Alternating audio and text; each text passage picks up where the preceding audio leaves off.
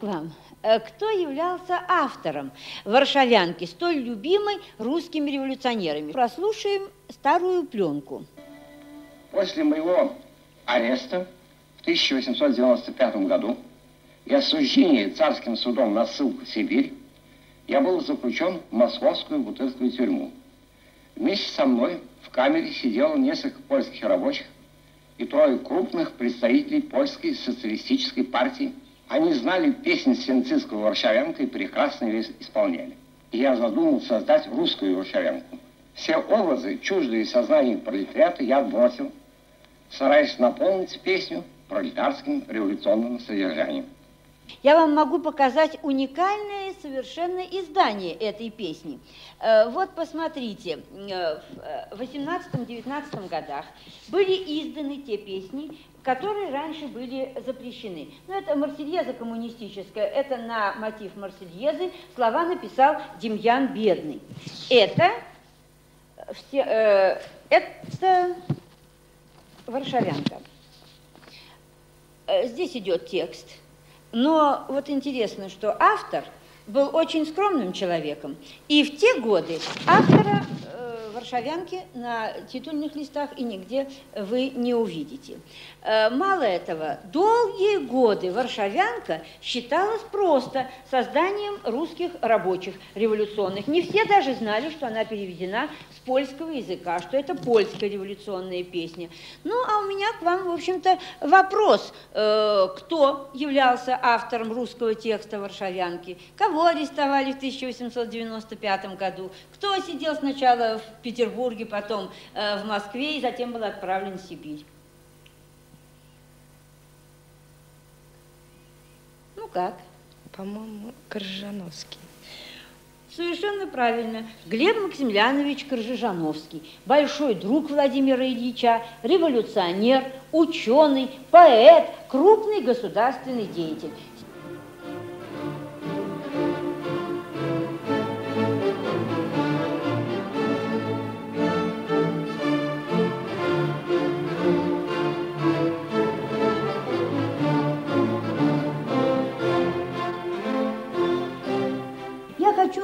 Несколько слов сказать о биографии самого Глеба Максимляновича. Как человек приходит в революцию? Интересно, что его дед был польским революционером. За участие в восстании 1863 года он был сослан в Сибирь, где родился отец Глеба Максимляновича Крыжановского. Его мать была из благополучной немецкой семьи. И когда дед узнал, что она хочет выйти замуж за Крыжижановского, за Галаштанного, за не имеющего постоянной, так сказать, работы, он проклял свою дочь. И она покинула отчий дом. Они скитались, правда, э, отец Глеба Максимляновича был человеком, мастером на все руки, и пока он был жив, они, в общем-то, такой уж совсем зверской нужды не знали. Но он э, простудился скоротечная чехотка. Он умер, когда э, Глебу было 7 лет, а его сестренке Антонине всего 5 лет.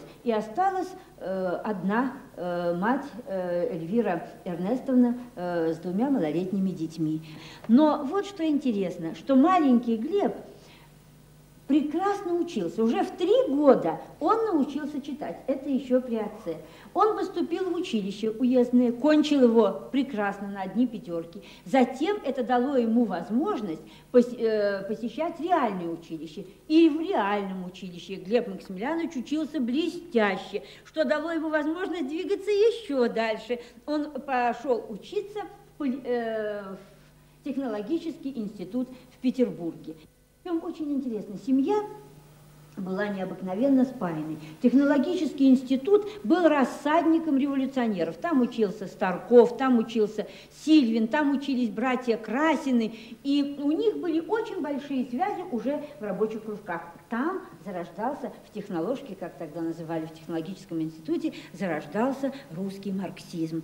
И вот Глеб Максимiliaнович попал в такую среду. Э, начинаются поиски путей. Интересно, что к этому времени в Петербург приехала учиться на бестужевских курсах и его будущая жена Зинаида Павловна э, Невзорова, затем Крыжановская. И вот на квартире Невзоровой Глеб Максимiliaнович впервые услышал Ленина. Он читал тогда реферат, назывался он «О рынках». И Глеб Максимiliaнович с этих пор стал навсегда большим другом Ленина.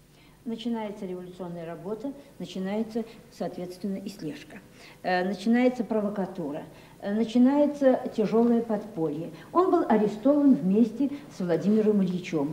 Вместе с ним был посажен в дом предварительного заключения. Э, вы знаете, ребята, я была в этой тюрьме, где сидели соратники Ленина, э, посаженные вот за работу в Союзе борьбы за освобождение рабочего класса.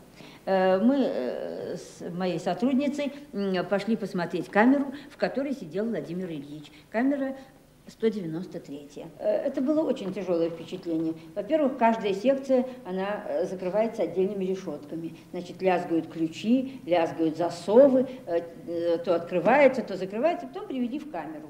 Вот камеры небольшие, они все, в общем-то, во всех тюрьмах, они везде почти одинаковые, несколько аршин в длину, два два с половиной аршина в ширину, все привинчено к стенам, койка, столик, окно. Окно очень высоко, во-первых, а во-вторых, забрано так называемым намордником, то есть снизу одевается такой короб, так что видно только вот вверх, кусочек неба. Вы не можете просто в окно посмотреть, вы не видите друзей, которые гуляют внизу, вы не видите соседних камер на противоположной стене, хотя это замкнутый э, квадрат. То есть стены сплошные. Представляете себе, жить 14 месяцев, ну, Ленин прожил 14 месяцев, а ведь были люди, которые сидели в этих одиночках годами, причем, да, причем одним из э, тоже способов э, наказания было то, что очень долго не вызывали на допрос.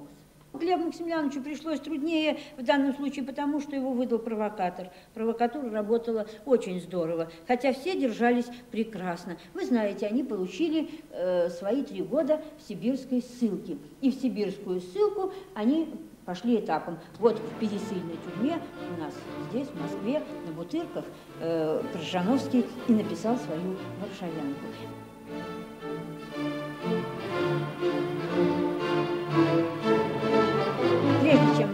Перейдем к будущему, я хотела вам загадать одну загадку. Э, как переписывались, вы знаете.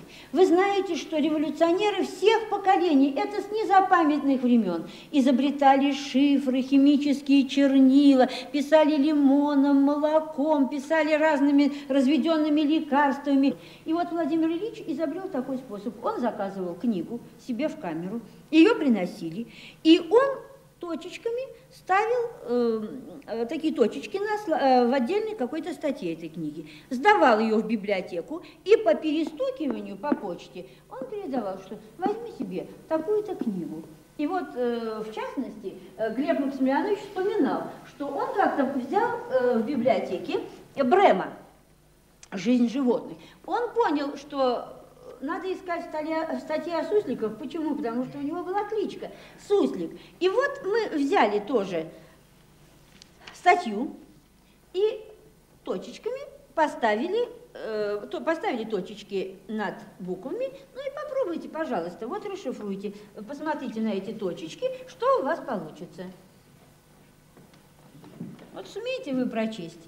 И какое терпение нужно было иметь для того, чтобы прочесть? Нет. Ну как нет, вот э, попытайтесь. Где первые точечки стоят? Тут первого слова нет. Как нет первого слова? Да потому что правильно. Начинается нет, вот. Ну? Начинается слов нет. Нет. Нет. Нет. Нет. Нет. Чер. Не тер. Ну? Дальше идет. Э. Не червре. Не теряй времени.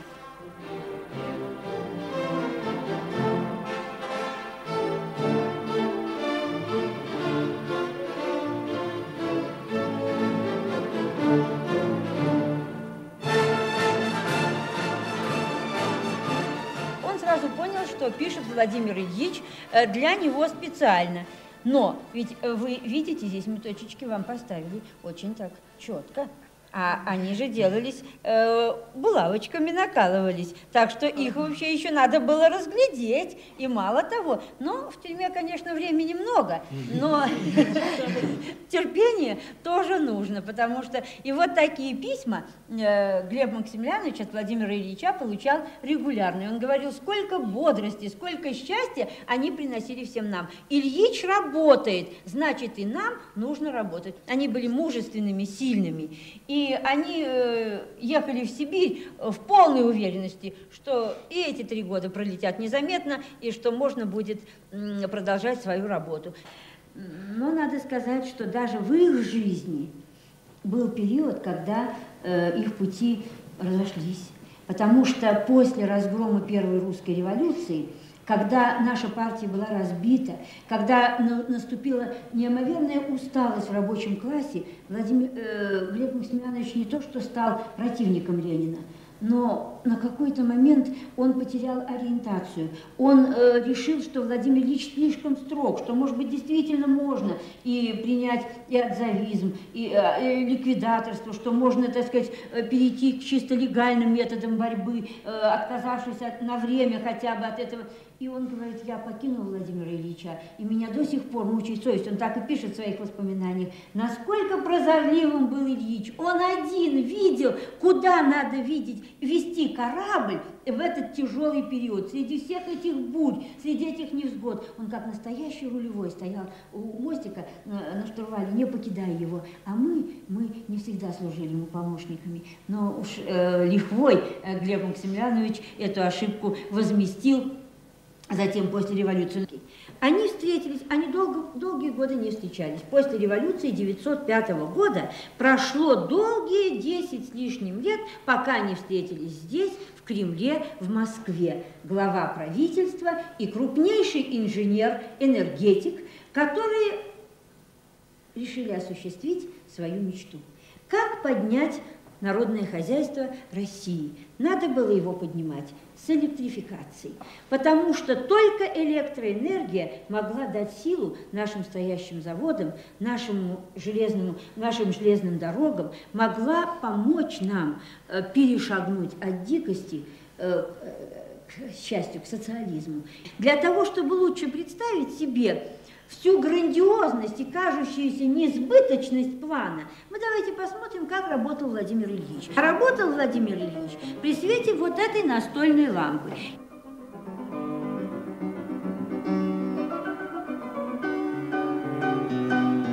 Эта лампочка всего 16 свечей.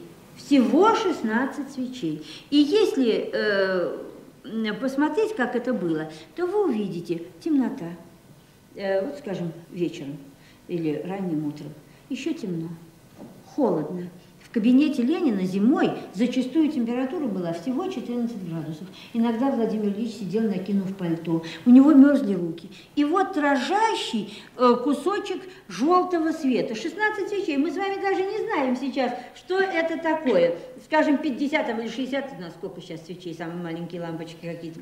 Это кажется уже совершенно темно. Это можно освещать только какую-то маленькую комнатку, но не такое большое помещение. Все-таки кабинет Ленина достаточно обширное помещение помещений. И вот при этих 16 свечах Владимир Ильич разворачивал грандиозный план перестройки народного хозяйства России, план электрификации.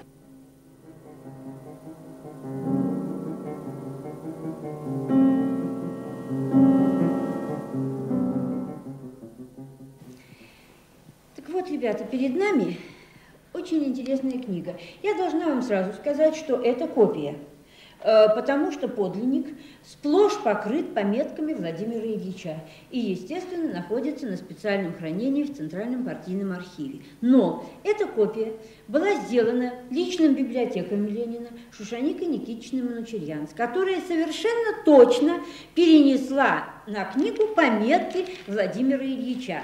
Причем, вы посмотрите, Это план электрификации РСФСР. Введение к докладу Восьмому съезду Советов Государственной комиссии по электрификации России. Почему я вам показываю это? Потому что здесь указывается, как создается комиссия, и написано «председатель, инженер Кржижановский от электроотдела ВСНХ».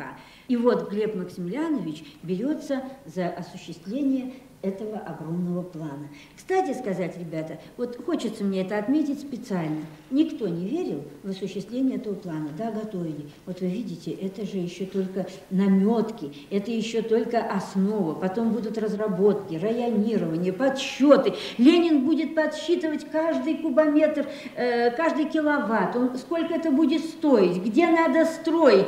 Будет все. Но как только заговорили об электрификации России, завопила вся буржуазная пресса. В России это невозможно. И вот здесь, в этом кабинете, в 20 году Ленин принимал знаменитого английского писателя Герберта Уэллса. Он пишет, сам Уэллс, что в какое бы волшебное зеркало я не смотрел, я не могу увидеть Россию будущего. А вот невысокий человек, сидящий в Кремле, эту Россию видит. И это видел Глеб Максимiliaнович Крыжановский. Он готовился, вот готовился к осуществлению этого всю свою жизнь, потому что он специально учился, он работал, он планировал, и для него предложение Ленина было величайшим счастьем. Но вы вспомните, что такое 20 год монтировалась на сцене Большого театра карта электрификации России. Театр был полон. Для того, чтобы ее осветить, ну какие-то там, сколько там лампочек было, всего сотни-полторы лампочек на ней было, где, чтобы показать, где какие очереди будут э, электрифицированы. Для этого во всей Москве на полтора часа было выключено электричество. Представляете, что такое мощность нашей Магес тогда была. Есть одна картина, я не считаю, что она может быть очень удачна. Немножко художник, мне кажется, э, приукрасил само положение. Вы видите, что все сидят почему-то прямо даже на сцене. Большого театра. И доклад э, в данном случае выступает Владимир Ильич, а Глеб Максимiliaнович, вот он здесь стоит, он только что закончил, очевидно, свой доклад. Конечно, это было не совсем может быть так, но убедительность вот этого ленинского жеста здесь довольно четко прослеживается. Он умел убеждать, а он ведь верил. Когда он Э, какие-то планы провозглашал, он верил. Ну, тут хорошо указка стоит, чувствуется, что Глеб Максимiliaнович только что ее оставил, он делал доклад. Доклад об электрификации России. Пройдут годы. Я еще раз подчеркиваю, что э, жизнь Глеба Максимiliaновича была очень э, яркой, долгой, все-таки почти 90 лет, но вот эти годы, годы общения с Лениным, были, пожалуй, самыми яркими. Восьмого съезда мы, по-моему, имеем всего несколько метров пленки, к сожалению. Но зато есть кинокадры э, принятия э, на пятом съезде Советов принятия плана э, первой пятилетки. Именно Глеб Максимiliaнович предложил первый пятилетний план, как генеральный план строительства социализма. И э, ему не раз говорили, почему э, именно пять лет. И, не знаю, задавали все когда-нибудь тоже вопрос, почему у нас пятилетки? Почему не семилетки, почему не трехлетки, почему пятилетки? Кстати сказать, пятилетки приняты ведь не только у нас. В целом ряде государств тоже пятилетний план развивается на 5, на 5 лет. И даже не только в социалистических странах, но даже в капиталистических странах некоторых. Да, почему? Нет, Глеб Максимiliaнович очень хорошо это объяснил. Пять лет – это основной срок хорошего большого строительства. За пять лет можно построить завод, это при хорошем строительстве это цикл. За пять лет можно определить урожайность того или иного поля или то, то, того или иного сорта. Пять лет – это на разработку каких-то проблем и так далее. Это оптимальный научный режим. Он ничего не выдумал, это в данном случае романтик Крыжижановский стоял на твердых позициях науки э, пять лет. И вот почему пять лет себя оправдали. Они действительно показали, что это ритмичное, за, это, за пятилетку можно многое сделать.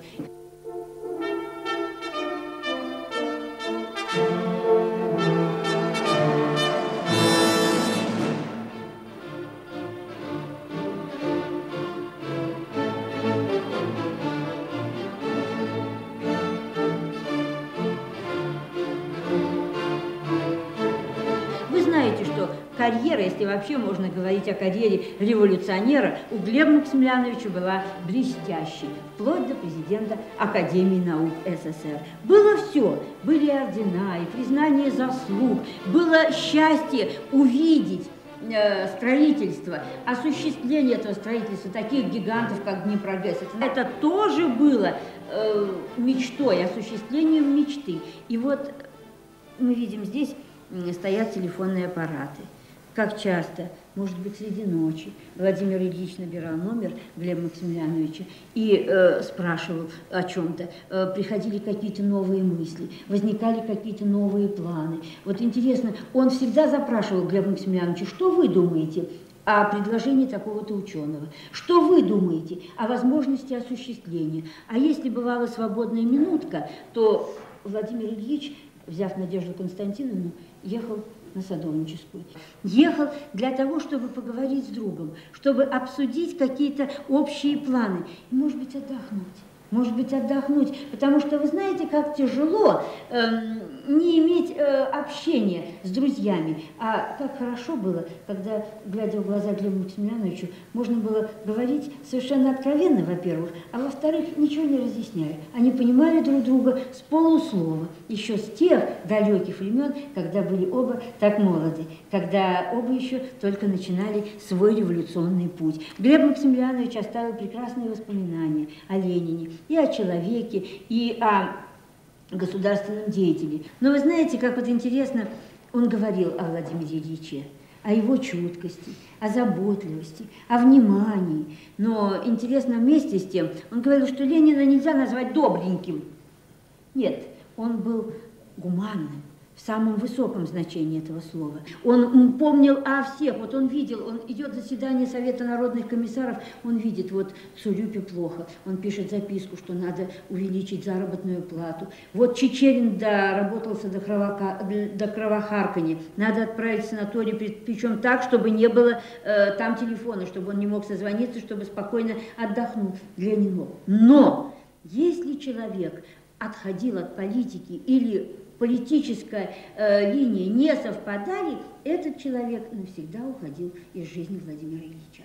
Потому... Но вот какой вот именно, какие качества вот личной души Крыжановского вот так полюбились Ленину? Говорят, противоположности сходятся. У Глеба Максимiliaновича характер был немножко другой. Он был более лиричный, но легко увлекающийся. Он легко развивал брошенную мысль. У них было много общего. Они одинаково любили поэзию. Владимир Ильич стихов не писал, но он, видите, как ему нравились э, и Варшавянка, и Красное Знамя, которое перевел Крыжановский. Действительно, ведь сделано это прекрасно. Они оба любили музыку, и оба только пели, не умели играть ни один, ни другой другой. И мы знаем, что из э, Шушинского Владимир Ильич пишет домой, сюда, в Москву, матери и маняши с просьбой прислать какие-то ноты. У меня теперь гостит Глеб, он стал что-то большим охотником до пения, пришли, пожалуйста, ноты. И, естественно, Мария Ильинична спрашивает, а какой голос у Глеба Максимiliaновича, какие ноты прислать? И Владимир Ильич говорит, Какие ноты, э, какой голос? Да баритон, наверное, что ли. Да он и то те же песни поет, что и мы с Марком когда-то кричали.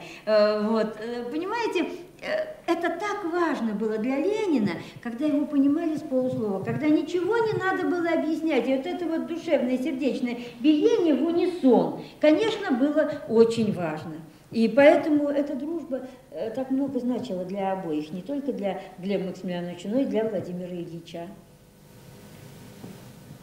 Людмила Ивановна, вы говорили про то, что все революционеры увлекались очень многим. Они, некоторые писали стихи, изучали историю. Но как им это все удалось? Вот я очень ценю в людях, когда они всесторонне образованы, когда они многим увлекаются. Но я прекрасно уже на себе испытала, насколько трудно одновременно заниматься многим. Ни, ни времени не хватает, ни сил. Как Нет, очевидно, все-таки это связано с умением организовать свое рабочее время. Начнем с учебы. Э, почти все все-таки они, если мы возьмем, все великолепно учились. Я знаю, что я не собираюсь вам читать нотации, это совершенно не в моем стиле, но мы э, это хотим, этим хотим заниматься, этим, этим не хотим заниматься. Вы знаете, как-то они очень рано выбирали свой путь, и они готовили себя к этому. Они прекрасно знали, что если школа, гимназия в данном случае или училище кончены плохо, то путь в университет, путь к образованию закрыт или отодвигается. Вы выбирали и работали. Работать приучались э, с самого раннего детства. Я говорю, меня потрясло, например, не знаю, может быть, на вас не производит впечатление, но что Герцен к восьми годам знал четыре иностранных языка. Крыжижановский писал стихи. Не знаю, когда. Вот он разрабатывал план, он руководил институтом, академией, госпланом. Такие государственные должности. Я ненавижу слово. Они были такие же, они были простые. Нет, в общем-то, они жили такими высокими идеалами, и эти идеалы их тянули.